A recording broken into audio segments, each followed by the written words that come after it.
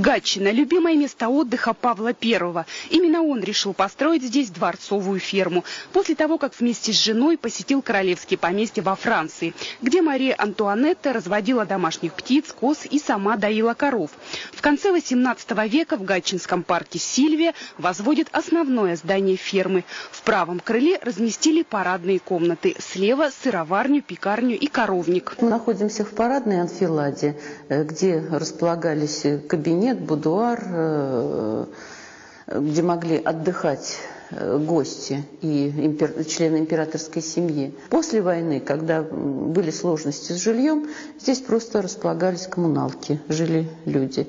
Два последних десятилетия все помещения фермы сдавали в аренду. В основном был склад. В итоге от былой сельской идиллии не осталось и следа. И только этой зимой музейщики решили восстановить императорский скотный двор.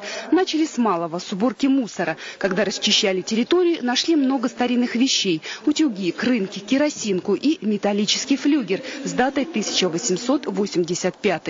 Это флюгер, который находился над колодцем. Существует план XIX века, который датирован 1885 годом. Это план Шестакова.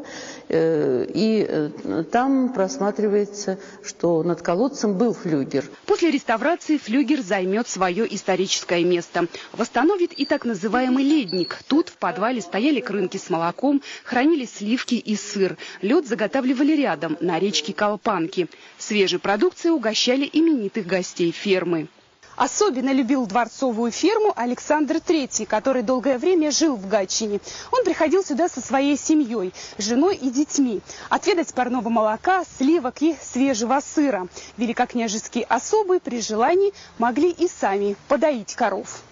Планы у музейщиков грандиозные. Они хотят не только восстановить здание, но и вернуть жизнь ферме. Сначала развести уток, кур и гусей, потом коз, лошадей и коров – и, как в царские времена, угощать посетителей музея собственным парным молоком.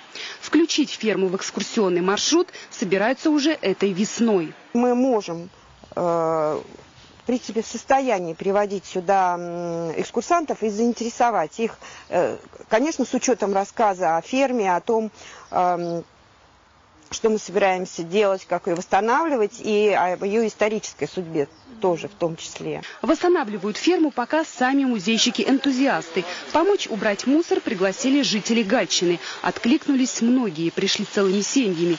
Чтобы начать масштабные работы, нужно исследовать состояние построек и создать проект реставрации. Какие-то, безусловно, средства Комитет по культуре будет выделять на будущий год. Я надеюсь, мы сделаем проект воссоздания основного здания фермы. А, и на этот комитет обязательно выделят средства. А, ну а после этого посмотрим. А, денег нужно много. И я надеюсь, что для такого хорошего живого дела мы будем еще и спонсоров искать. Реставрация дворцовой фермы может растянуться на несколько лет. Потом музейщики планируют взяться за сам парк и птичник на другом берегу с громким названием «Фазанник». Там содержали фазанов для царской охоты.